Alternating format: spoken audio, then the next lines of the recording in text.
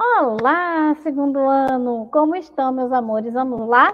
Então, hoje a gente vai dar continuidade, a gente vai falar um pouquinho mais, né, sobre a gestão do município e a gente vai falar sobre a função aí dos vereadores, tá?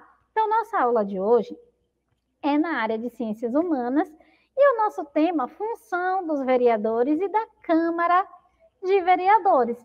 Vocês lembram que a Pro falou na aula de gestão do município, né, que os vereadores também é, tinham uma função aqui muito importante para os municípios, e eu ainda falei mais, né, disse assim, ó, mas vamos, não precisa agora a gente se preocupar, porque a gente vai ter uma aula onde a gente vai falar também sobre a função dos vereadores. Então, a gente já falou aí sobre a função, né, do, do prefeito, do vice-prefeito, dos secretários, né, que ajudam aí é, o prefeito e o vice aí a, a, a governar aí a, a, cidade, o município, e agora a gente vai ver qual é a função do vereador.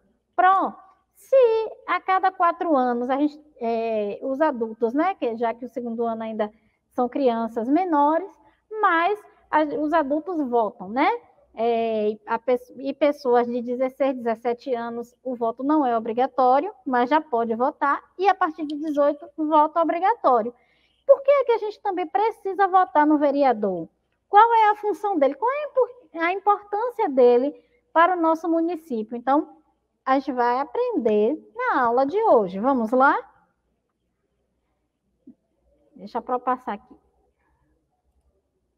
Então, ó, por dentro da nossa história. Então, a gente vai ver um pouquinho ó, da história é, da Câmara de Vereadores de Feira de Santana, tá bom? Então, a Câmara Municipal de Feira de Santana foi instalada em 18 de setembro de 1833, exercendo as funções dos poderes executivo e legislativo, pois o primeiro intendente, o coronel Joaquim Melo Sampaio tomou posse em julho de 1890, quase 57 anos após a instalação oficial da Câmara. Então, é, a Câmara, né, de Vereadores aqui de Feira de Santana, ela foi aí, né, é, instalada, ela começou a ser usada aí em 18 de setembro de 1833, né? E esse, o 18 de setembro é, é, a data também que marca a emancipação política, né? De Feira de Santana, tá bom? Então, a Câmara de Feira, né? Tem uma história é, já de algum tempo. Esse, essa é a imagem do coronel Joaquim de Melo Sampaio, que foi intendente, né? Daqui de Feira de Santana. Nós vimos lá na aula é, sobre a gestão do município que o intendente era um cargo aí que existia, né, antes do, de ser criado aí o cargo de prefeito. Uma, uma curiosidade é que na Câmara tanto trabalhava né, tra o, o intendente como trabalhavam os vereadores, tá? Hoje a gente já tem a prefeitura, que é onde o prefeito trabalha, tá? O local de trabalho, o local de trabalho do prefeito e do vice-prefeito é na prefeitura, e o local de trabalho dos vereadores é na Câmara Municipal, certo? Mas antes, logo quando ela foi criada, eles trabalhavam juntos ali no mesmo prédio, tá bom? Então vamos continuar. Nos primeiros anos, a Câmara não possuía sede própria e as primeiras sessões foram realizadas na casa de um vereador, não tendo registro de quem teria sido. Então, antes né, da gente ter ali o prédio da Câmara Municipal, é, ali onde está a Câmara Municipal, se eu não me engano, é a Avenida JJ Seabra. É, antes da gente ter aquela sede, é, é, as sessões da Câmara, onde os vereadores iam discutir as leis, né? Se aprovar o que, é era melhor para a cidade, era, eles eram feitos na casa de um vereador tá? Um dos vereadores cedeu ali a própria casa para fazer essas sessões. Só que a gente não encontra é, os, o registro de, do nome desse vereador, quem teria sido esse vereador, tá bom? Por diversas vezes, as sessões também foram realizadas no antigo Teatro Santana, tá? Entre os anos de 1948 e 1967, elas foram realizadas no Paço Municipal, que é a atual prefeitura. Então, a Câmara aí, é, ela já teve diversas sedes, né?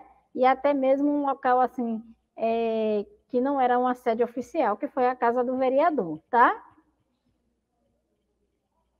Esse é o antigo teatro, é, o antigo teatro, né, Santana, ali na rua Conselheiro Franco, tá?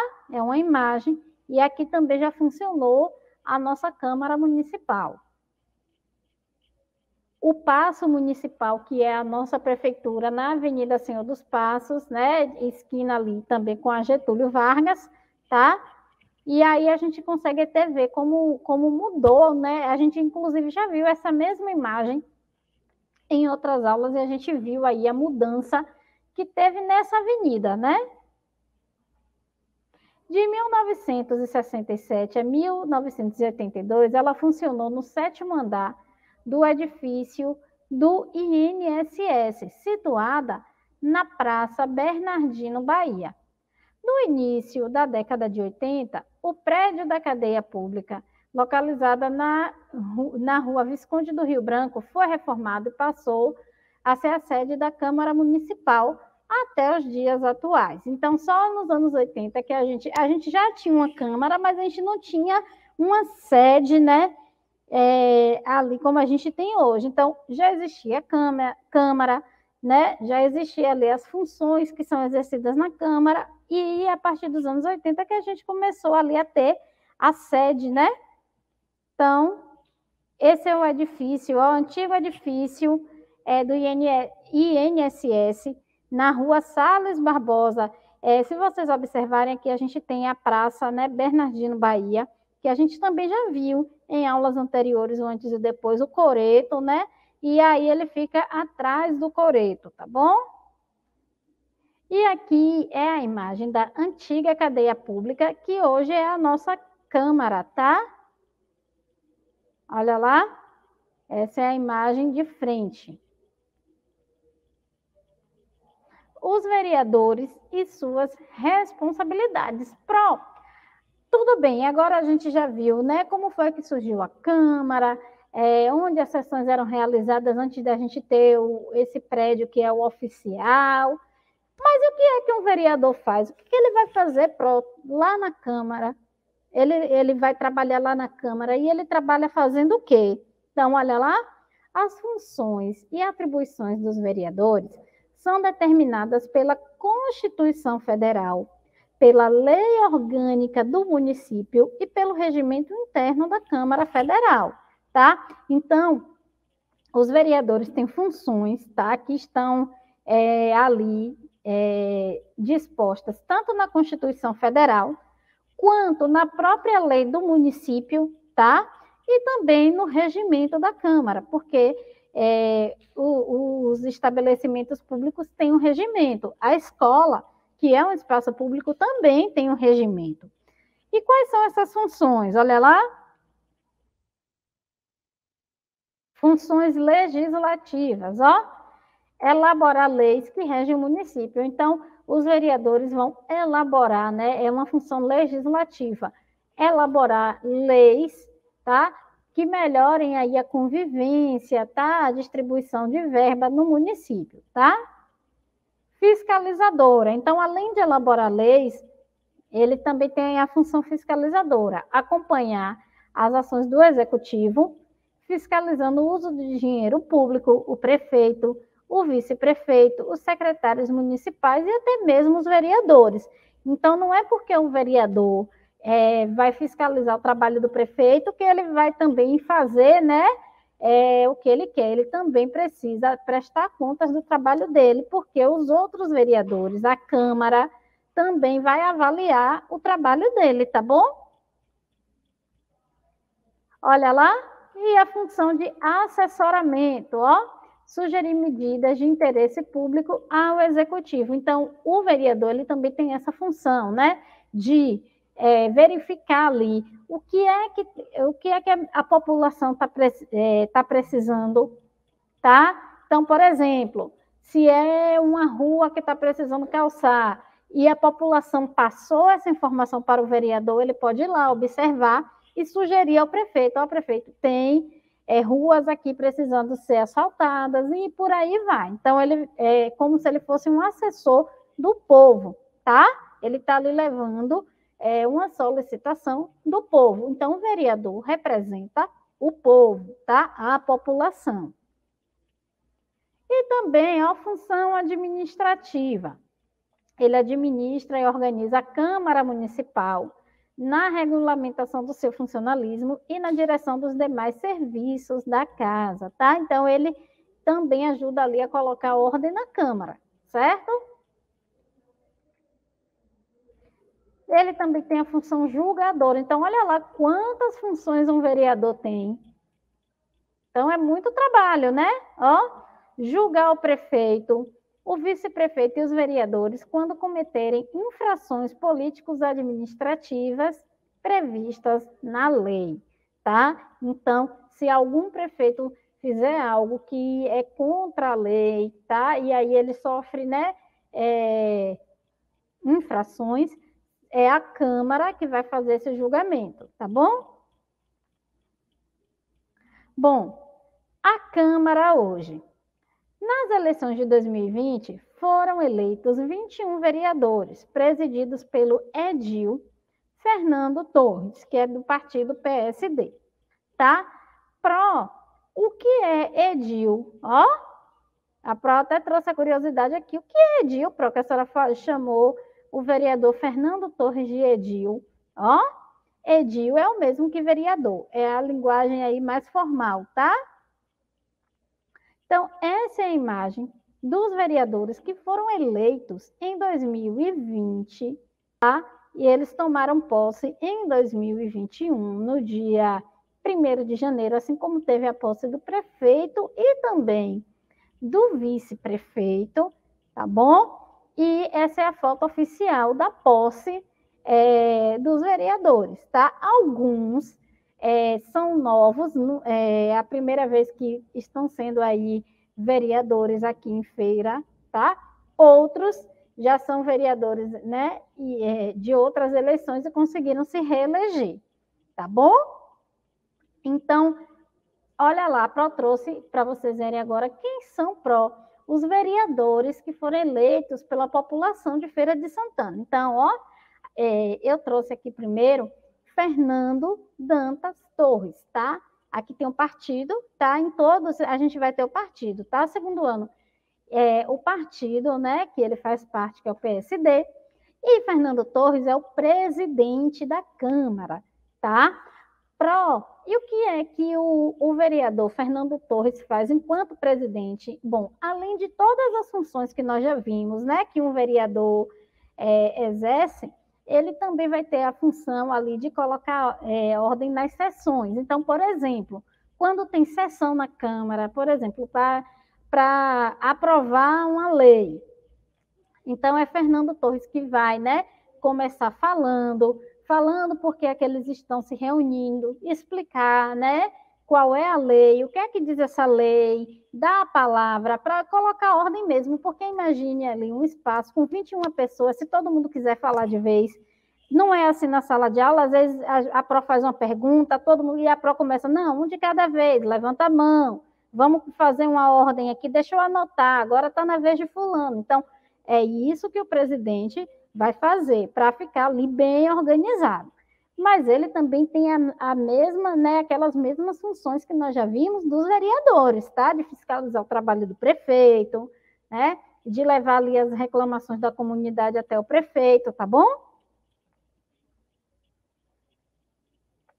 Olha lá, é José da Costa Correia Filho, conhecido como Correia Zezito, que é do partido patriota. Então, mais um vereador daqui de Feira de Santana, tá?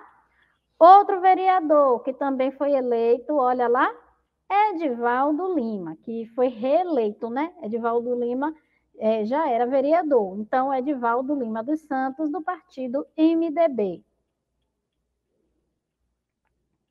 Emerson Minho, né? Emerson da é, Costa dos Santos, do partido DC tá? A PRO colocou aqui em cima o nome como eles, né, são, são chamados, são conhecidos, e aqui é o nome deles que consta lá no, no, no documento, tá bom, segundo ano? Porque é, alguns candidatos, quando eles vão concorrer às eleições, e até mesmo como eles são chamados no dia a dia, eles usam, né? Alguns podem usar ali alguns apelidos, né? Então, por exemplo, Emerson Minho, o nome dele é Emerson Costa dos Santos, mas ele é conhecido, é chamado de Emerson Minho, tá bom? Então, aqui em cima vai ter o nome como ele é chamado, e aqui ó, é o nome dele que está lá no documento, tá certo? Eremita Mota, é, que é do partido PSDC. Então, Eremita, PSDB, desculpa. Então, Eremita Mota.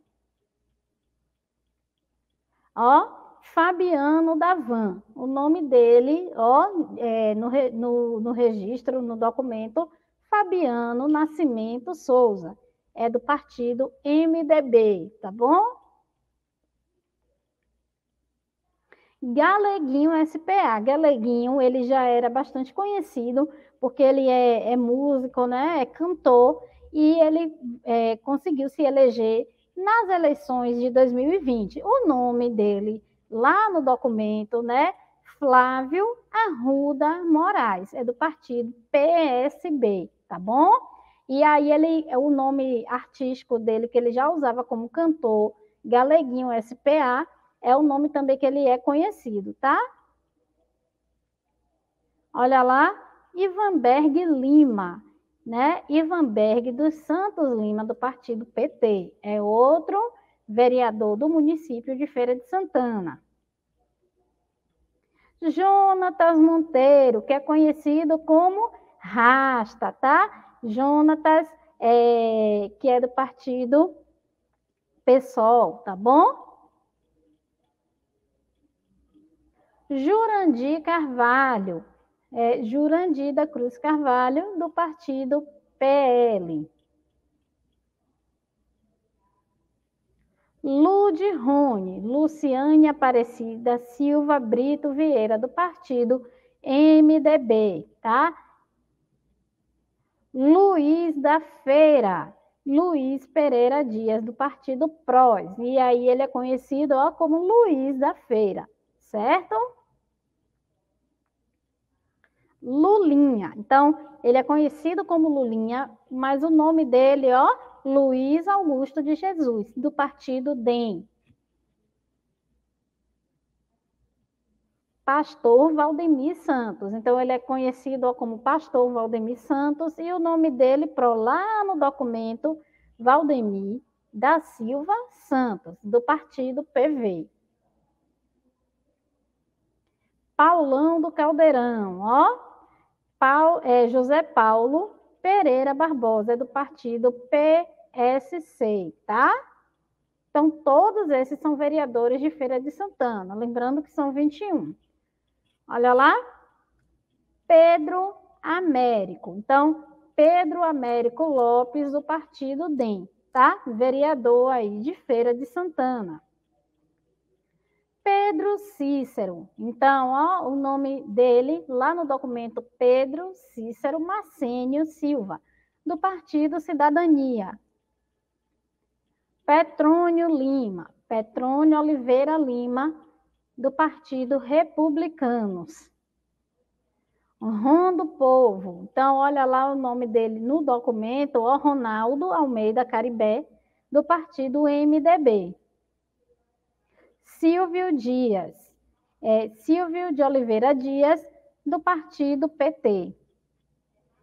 E Zé Curuca, tá? Ele é conhecido como Zé Curuca, mas o nome dele lá no documento é José Marques de Messias, do partido DEM. Então, são aí é, os 21 vereadores eleitos, né? Alguns também foram reeleitos, a gente viu pessoas ali que já eram é, vereadores e conseguiram a reeleição no ano de 2020 e tomaram posse agora no ano de 2021, no dia 1 de janeiro, tá bom?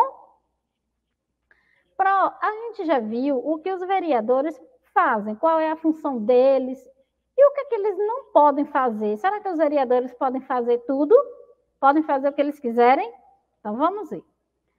Eles não podem ó, mandar fazer obras como asfalto, galeria de esgoto, pavimentação e estradas. Porque para quem autoriza essas obras é o prefeito, tá bom? Eles podem sugerir, mas eles não podem assinar uma documentação autorizando obras, tá? Eles podem sugerir ao prefeito levar, né, a reclamação do povo, falar, ó, aqui está precisando de asfalto, mas quem faz essa liberação não é o vereador, tá bom? É, eles podem criar projetos, inclusive, é, para fazer esse tipo de obra. Bom, eles também não podem ó, contratar professores, médicos ou qualquer outro funcionário público, até porque a contratação de funcionário público passa aí por um processo de seleção, né? Às vezes por concurso público, às vezes, né, por, por regime de direito administrativo, que é, é um serviço temporário, né?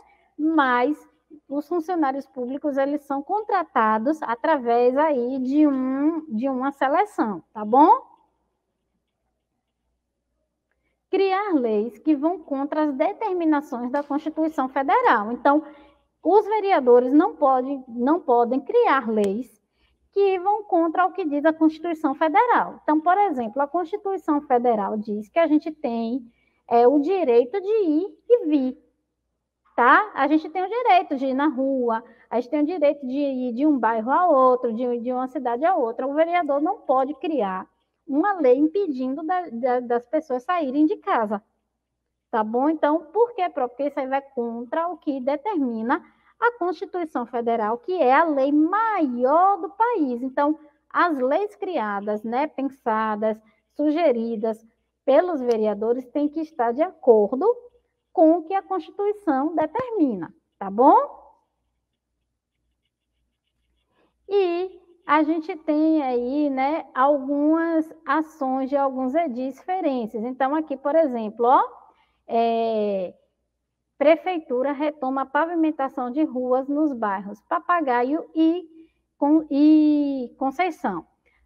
É, a gente tem o site da Câmara de Vereadores, tá? Onde a gente pode estar sempre olhando como está o trabalho da Câmara. Então, quando a gente fala, pessoal, de poder público, a gente tem acesso, tá? As informações do trabalho. Isso tudo fica no site.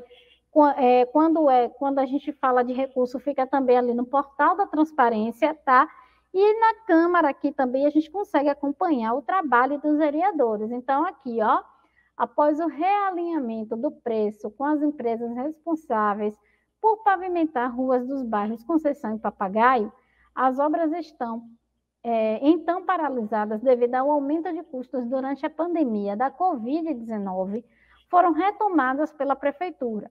A informação é do líder da bancada governista, vereador Lulinha, do DEM, que na sessão desta quarta-feira destacou os recentes investimentos do Executivo Municipal nos âmbitos da infraestrutura sobre a educação.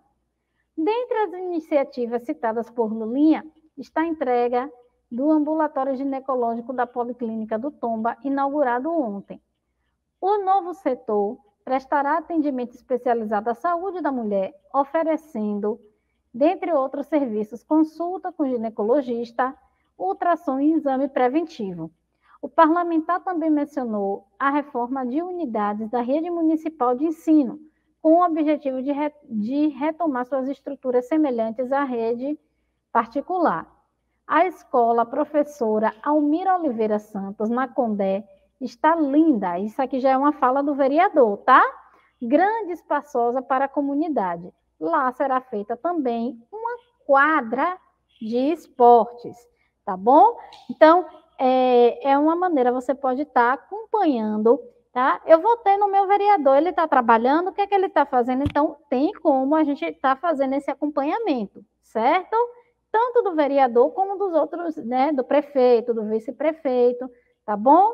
É, o site da prefeitura traz várias notas, né, de, de eventos que eles participaram, inauguração de escola, inauguração de posto de saúde, inauguração é, de uma avenida, né, que estava fechada ali para fazer alguma melhoria. Então, você, é, a gente, enquanto cidadão, consegue acompanhar o trabalho, né, das pessoas aí que ajudam aí a governar a nossa cidade, tá bom? Olha lá a ação, né, do Edil é, Lulinha, né? Olha, olha lá outro, ó. Fernando permite cinco Fernando permite a cinco entidades usarem a tribuna livre em uma mesma sessão. Então, é uma ação ali, ó, do vereador Fernando Torres, tá? Olha lá, uma ação agora, ó, de um outro vereador ali, professor Ivan Berg, Comissão de Educação e Cultura da Câmara, falar relatório sobre a adequação das escolas para o retorno das aulas. Então, ali a preocupação do vereador, né, Ivan Berg, que também é professor, então a preocupação de voltar às aulas, tá? Porque é, as crianças não podem ficar sem aula, mas de uma maneira segura, protegendo as crianças, protegendo os professores. Como é que faz isso, Pro? Fazendo exatamente aí essa adequação aí das escolas para o novo protocolo de biossegurança, tá bom? Pronto. E aqui, ó, para refletir. Diante de tudo que aprendemos sobre as funções e atribuições dos vereadores, se você fosse vereador por um dia, o que, que você faria pela cidade? E aí, segundo ano, o que é que vocês me dizem? O que é que vocês pensariam aí? Se você fosse vereador, o que é que você pensaria em fazer pela cidade de Feira de Santana? O que é que vocês acham aí que ainda precisa, né? É, a gente está olhando aí. O que é que vocês me dizem? Então, vocês podem, ó, é, escrever, se quiserem, tá bom? E é, vocês também podem até, se quiser, gravar um vídeo falando, né? Se, olha, se eu fosse vereador por um dia, eu melhoraria algo que está acontecendo aqui na minha rua, e aí você fala o que é. Se você gravar esse vídeo, pede ao papai e à mamãe, tá? Como a Pro sempre pede, para é, postar lá no Instagram e marcar a Secretaria de Educação para a gente ver tá? O, qual é a sua proposta aí, é, como vereador por um dia, para melhorar ainda mais a cidade de Feira de Santana, tá bom? Bom, e antes da gente encerrar a nossa aula, aquelas orientações de sempre que a gente é, dá aqui, que eu sempre deixo, tá? Se ficou ainda alguma dúvida sobre a nossa aula de hoje, vocês já sabem, a gente tem várias playlists, né? Lá no, no YouTube, no canal da Secretaria de Educação, e a gente tem a playlist do segundo ano. Então, as aulas ficam todas salvas lá na playlist. Você pode voltar, assistir essa aula novamente, tá bom? Para tirar aí as suas dúvidas. Ou você pode sempre, ó, tá trocando ideias aí, né, com seus coleguinhas, tá bom? Conversar em casa também com o papai e a mamãe. Se você tiver acesso e puder pesquisar também, vocês podem pesquisar, tá? Ou anotar essa dúvida e tirar com o seu professor, tá bom, segundo ano? Então, mais uma vez, ó, foi um prazer estar aqui com vocês, tá? Espero que tenha sido um momento de muita aprendizagem, tá bom? Um beijo, até a próxima aula, tchau, tchau.